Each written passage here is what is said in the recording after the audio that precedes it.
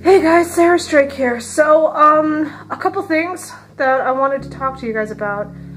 Um, I, like I said in the previous update, update number four, that I'm getting my shoulder and my back fixed. Now, not just one shoulder, I'm getting both my shoulders fixed. Um, and what that entails is they're going to take these needles and they're going to stick them into my muscle. They're going to open up the muscle and then they're going, it, it's kind of, it's that way my muscle can heal properly and I won't have to worry about this shit anymore. And as you can see, I'm in my official wall that I'm going to be using to do some of these really short videos.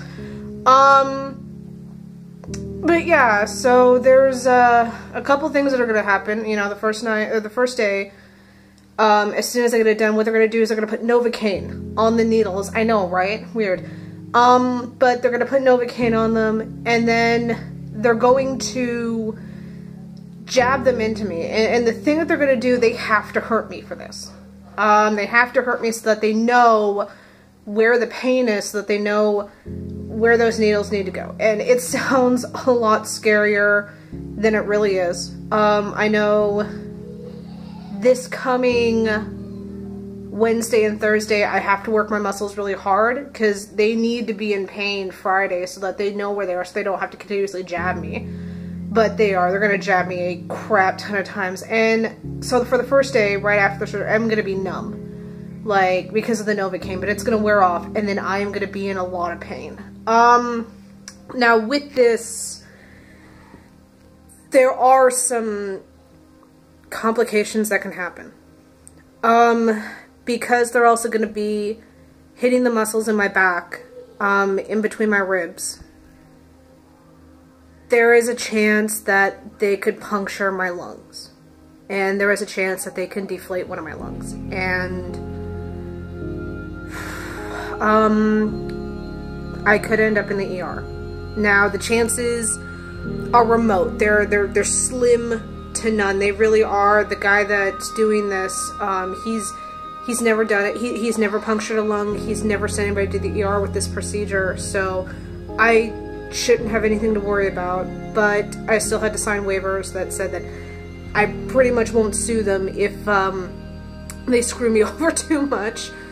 Um, so yeah, I just wanted to let you guys know what's going on. Um, but yeah, it looks like if the worst that could happen is yeah, I could get a punctured lung and I'd have to go into surgery for major surgery so that they can fix up the hole and uh, reinflate my lungs and uh, take out all the extra blood that um, seeps into them. It's this is getting really dark. This is not at all what I was uh, going for. so yeah, I just um, I just wanted to let you know what was going on. Um, I wasn't gonna tell anybody about it. Like, I, I told you guys that I was getting it fixed. I told you that they were gonna use needles, but I wasn't gonna tell everybody the extent of it. Um, but I've had a couple people ask questions, and I just recently told my mom what was gonna happen, and she's not thrilled right now uh, with me. I guess, I don't know if she's not thrilled with me not telling her from the beginning, or if she's just not thrilled at the fact that I could be seriously injured by this. Um, probably a little bit of both, to be honest. But yeah, um, I, there there is a small chance, and